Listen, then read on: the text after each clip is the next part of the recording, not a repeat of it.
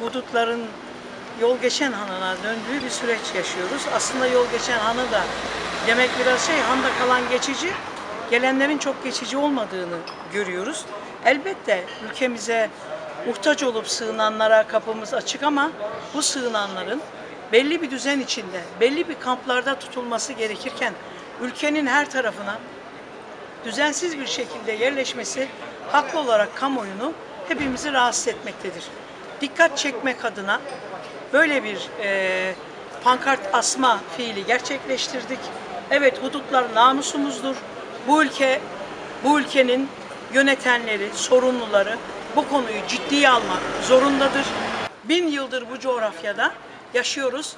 Bağımsız Türkiye Cumhuriyeti olarak yaşamaya da devam edeceğiz.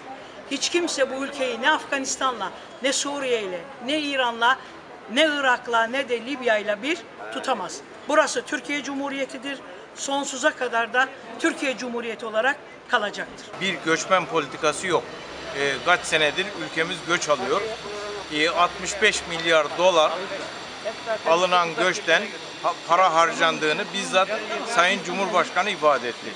Bu 65 milyar dolar planlı hesaplı bir göç politikası olsa ekonomiye kazandırılır. Pandemiden dolayı mağdur olan Türkiye, esnaf, vatandaş mağdur olmazdı. Devlet bir an önce sınırlarının güvenliğini sağlamalı ve ciddi bir göç politikalı göç politikası oluşturmalıdır. Bir an önce de bu göçmenler geldikleri ülkelere güvenlikleri sağlanarak gönderilip